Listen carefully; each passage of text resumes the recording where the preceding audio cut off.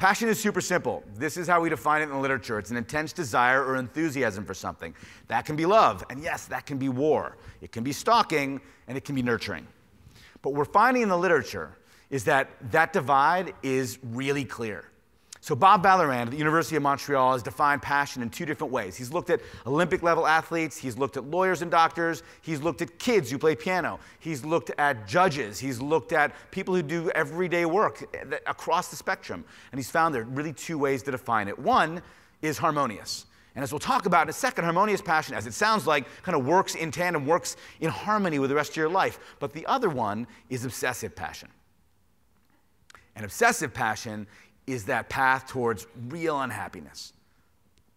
So I want you to think of something that you have an intense desire or enthusiasm for. It can be anything. It can be work. It doesn't have to be work. In fact, when we looked at different kinds of passion in the research, we find over 190 passions. It can be email marketing. It can be cooking. It can be spending time with your family. It can be reading. It can be cycling. It can be anything across the board. Anything that you have an intense desire for. And let's walk through what harmonious and what obsessive passion looks like and see how you might feel about one or the other for yourself. Now, the basis of harmonious passion, the very basis of it all is simple you do it because you love it. Now, how many people in here have kids? Quick show of hands. Great. All right. So if you have kids, you'll totally get this. And if you don't, you've been one, so you'll totally get it too. Um, let's think about five year olds. Five year olds are awesome and they're super simple. And we know five year olds because when they get up in the morning, they're like, boop, time to play with Legos. Like they don't think about it. Like, boop, time to go outside and play kickball. Boop, I'm gonna go, I'm gonna pick up a book and read. Boop, gotta find my friends. Boop, whatever it might be. They're like, I'm gonna wake up, I'm gonna do something that's awesome, right?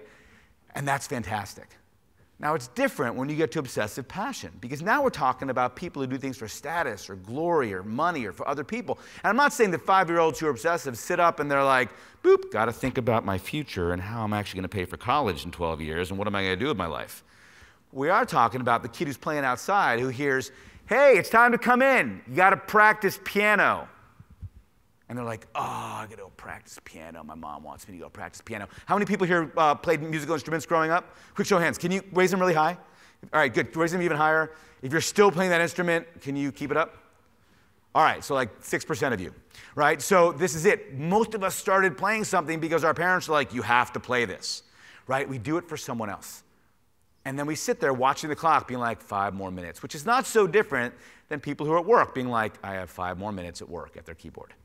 And that's what happens as we push our passions towards the future. I have a bunch of friends who work for um, the same financial institution in New York. It's a really well known um, financial uh, institution. It just, um, we won't name it. We'll just say it's well known and uh, it rhymes with old man snacks. And. for my friends, you know, most of them, they don't love what they do. They don't love going into work every day. They do really well financially. That business card is like super prestigious. They're really popular at dinner parties. But for the day to day stuff, and by the way, they have great vacations. From what I hear, I can't afford to join them, but um, I hear they're amazing, right? But what they do actually do the day to day, they don't necessarily enjoy. Except for my one friend who has the amazing name of Dan. And Dan uh, has been working at Old Man for the last uh, 17 years. And I asked him, like, what is it? Why do you love your work so much? He's like, dude, I'm a math geek. I went to MIT. Like, they give me the most challenging mathematical problems they can find, and I get to go to work every day and like solve puzzles. I have a great time. So the fact that he loves what he does is really key to harmonious passion. We'll find in a moment you don't have to love your work in order to enjoy harmonious passion, but we'll get there in a second. The next part of harmonious passion is that it's just a part of your life versus it being your whole life. Now, what's that mean? I work with a bunch of pianists at places like Juilliard, Metropolitan Opera, singers, and you know, from the pianists especially, because they will practice for seven, eight hours a day. After two, three hours, you get some of these pianists and they'll like walk over to a neighboring studio. Hey, I'm gonna go out and get a slice. That's what we do in New York, we get slices. We're gonna go out and a slice. You wanna, you wanna come out? Now, if that other pianist is harmonious with their passion, they're like, yeah, I've been at it for a while. Let's go, let's do it. And they go off, they don't think about piano, they enjoy their pizza and each other's friendship, they come back, they keep practicing. But the other type, hey, we're gonna go out and get a slice, you wanna come? I can't come, I gotta keep working. Oh, okay, all right. Next day, we're gonna go out, we've been at it for, no, I can't, I can't, I got a big competition this weekend, I can't, I can't. Okay, next day. Hey, do you wanna come? No, I can't. And the knocks, they kind of slow down and they stop coming.